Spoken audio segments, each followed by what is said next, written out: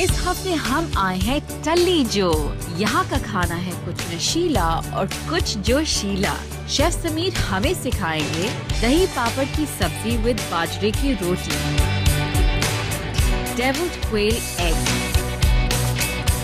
रघुगाड़ी सीधा तो मिलते हैं संडे शाम को सात बजे सिर्फ़ एन टीवी पर।